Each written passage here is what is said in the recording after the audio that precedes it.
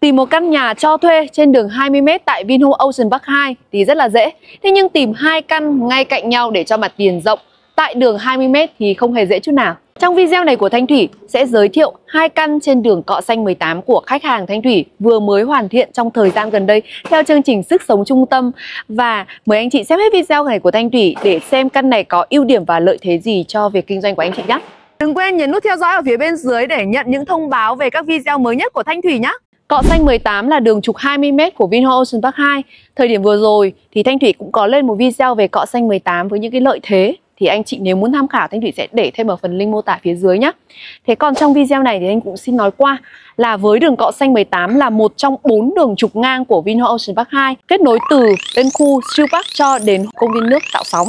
Đường cọ xanh 18 sẽ đi qua các tiện ích như là chung cư Masterite đang xây dựng rất rầm rộ ở phía bên kia, công viên The Empire, đi qua quảng trường Kinh đô ánh sáng và thẳng đến cổng check-in của Hồ Tạo Sóng. Chính vì vậy mà khi chúng ta có một căn tại đường cọ xanh 18 thì cư dân hoặc là khách đến đều kết nối dễ dàng giữa căn của nhà mình qua các tiện ích lớn của Vinhome Ocean Park 2.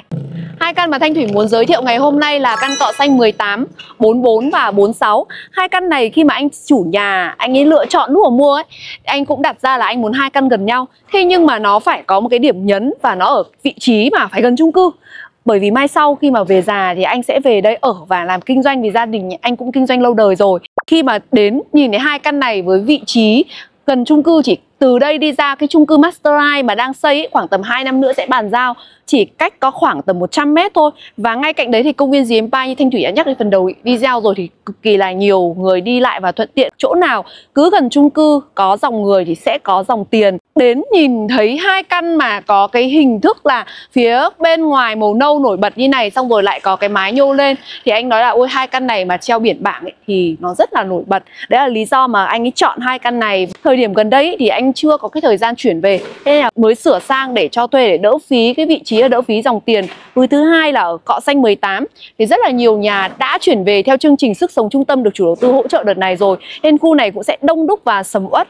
Đường 20m thì có lợi thế vỉa hè rất là rộng anh chị nhé ở phía vỉa hè các đường bình thường ấy, chỉ có 3 mét thôi. Nhưng đường này rộng là 5 mét, có hai phần. Một phần dễ dành cho việc mình đỗ xe. Tức là anh chị sẽ quan sát là có những cái ô gạch đen như thế này này. Là hất ra phía bên ngoài là mọi người sẽ đỗ xe máy ở phía này để à, không ảnh hưởng đến việc đi lại của mọi người cử cư dân. Thế còn toàn bộ phía chỗ này thì à, hàng ngày vào ban ngày ấy, nếu mà mình à, shop house mình kinh doanh thì mình có thể kê bàn ăn các thứ ra ngoài này. Còn với phía trước nhà thì luôn luôn là mình sẽ có hai chỗ đỗ xe ở phía trước nhà. Rồi vì căn này mỗi căn là mặt tiền 5 mét tổng là 10 mét. Còn khi mà buổi tối anh chị có thêm mô tô hoặc là mình có sử dụng xe điện chẳng hạn. À, anh chị kinh doanh homestay anh chị có thể cho xe điện đỗ ở phía trên vỉa hè nhưng mà phải vào buổi tối và lúc đấy cư dân đã đi ngủ rồi anh chị nhé thế còn buổi sáng thì anh chị vui lòng đánh xe xuống phía dưới để trả lại cái phần vỉa hè đi lại cho cư dân. Mời cả nhà cùng vào nhà với Thanh Thủy nhé Hiện nay thì chủ nhà đang hoàn thiện cho riêng các căn và hình thức giống nhau. Thế nên Thanh Thủy sẽ review một căn là mọi người sẽ hình dung được hai căn như thế nào anh chủ nhà đang hoàn thiện theo chương trình sức sống trung tâm và tạm thời mới hoàn thiện có tầng 1 và toàn bộ những gì có anh chị đang nhìn thấy trong video là hoàn thiện phần sàn này, hoàn thiện phần cầu thang là có tay vị, các bậc đi lên làm bằng mặt đá, rất là chắc chắn. Ở căn này thì trước đây anh ấy nhận ấy là đã có cầu thang lên sẵn toàn bộ 5 tầng rồi. Nhưng tuy nhiên thì anh ấy mới hoàn thiện lên phần tầng 2 thôi. Phía bên trong này chúng ta có thêm một phòng nữa rộng 26 mét rất là rộng. Và ở đây thì anh chủ nhà đã làm sẵn phần trăng đầu chờ của bếp và điện nước. Tuy nhiên thì không lắp. Phần phía sau nhà chúng ta có một phần sân sau rất là rộng 10 mét thôi. Và cũng lát toàn bộ gạch và có một đường ống cấp nước ở phía bên ngoài. Thì anh chị khi mà mình về thuê, một là anh chị có thể tận dụng là cây thêm bàn hoặc là chuyển phần bếp ướt ra phía ngoài này. Hoặc là mình làm trang trí cây xanh tiểu cảnh nếu anh chị làm homestay hoặc là làm văn phòng. Đây là khu vực vệ sinh thì ở đây anh chị chủ nhà đã làm một bồn cầu này, một à, lavabo, gương và lắp thêm một cả một vòi hoa sen ở đây nữa thì nếu khách thuê cần thì sẽ sử dụng. Công tắc điện thì à, chủ nhà bố trí rất là hợp lý, cả cao và thấp cho các phòng để trong quá trình sử dụng anh chị cũng sẽ không bị bất tiện.